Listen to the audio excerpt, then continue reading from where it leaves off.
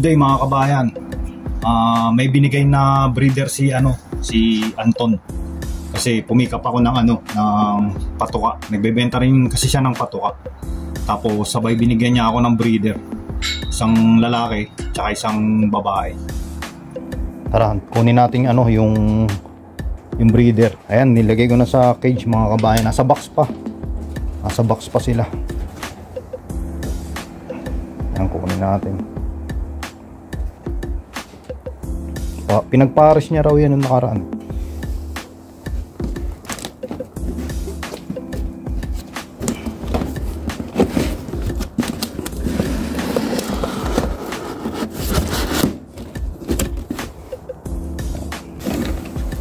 Ito mga kabayan yung ano babae.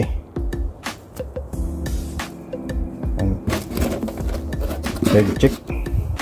Red check to, di ba mga kabayan? Gift Parang ito ata yung magulang nung ano. Ah, hindi, hindi, hindi related daw to eh. Hindi daw to related. Busog oh, daming pagkain. Lagyan na natin dito. Sa may ano.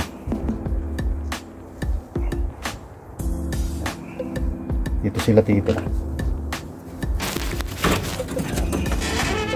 Sarado muna natin. Hindi ko pa nalinis yung ano breeder cage mga kabayan. Tapos kunin naman natin ano yung lalaki.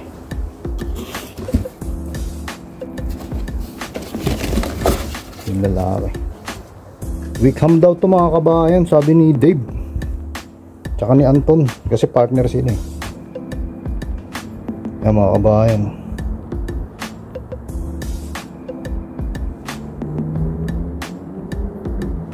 Deep bird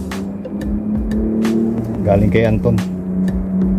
Long distance daw to mga kabayan sana mag ano mag perform sa atin mga kabayan yan.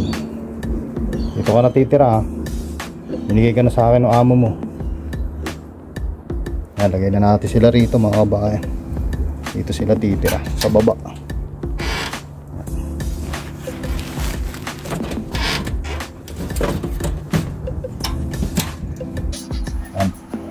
Binigay ni ano ni Anton. Ang ganda mga kabayan. Deep bird. Lalaki. Ano siya Mili, mga kabayan, Mili. Ganda. Sana mag-perform sa atin yung magiging anak niya mga kabayan. Yan. Kunin ko yung ano yung babae. Bagong deep bird. Tapos mga kabayan ito naman yung babae. Red chick. Di pa marunong umawak mga kabayan. Ah, red chick mga kabayan.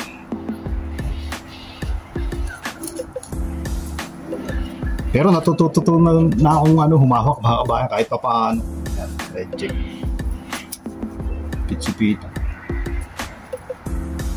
Nakabuka yung sipit-sipitan